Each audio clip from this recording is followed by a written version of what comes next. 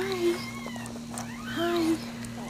Let's see if we can pull him on out a little bit. I don't want to break the umbilical cord like I did last time. Hello, little guy. Oh, yeah. Here's number two. Just let her work it a little bit. This is going to be the yellow one. Is it a male? Female? Don't know yet. Don't know yet. We don't... Good girl, Muff. Let me... Let me see if I can get. She needs to have a contraction to deliver the rest. Otherwise, oh baby, yeah, yeah. You like that?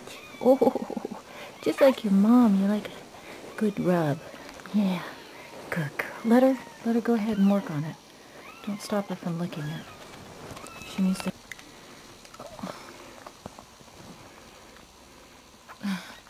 There we go.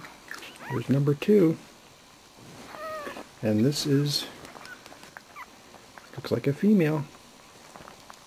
I think so. Hang on. Looks like a little female. Yeah, it's a little girl. It's a little girl. Number little two is a little girl. She's yellow. We got a girl and a boy. All right. You want to weigh her? Ready? Okay. Ready?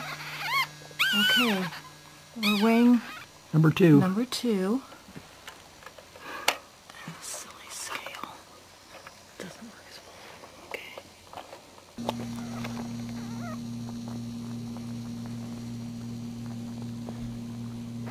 got a plastic bag for the placentas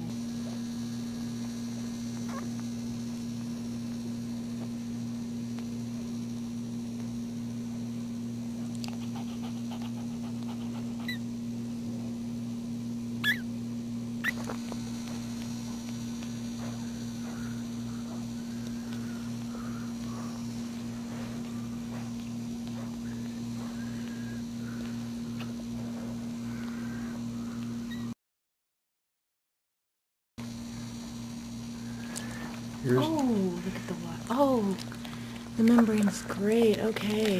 number three. Okay. It's a little wet. Yeah. I'm gonna give him just a. He likes that. He's sucking on it. Yeah. Okay, sweetie, come on. You look good. Good girl, Mom. Wow.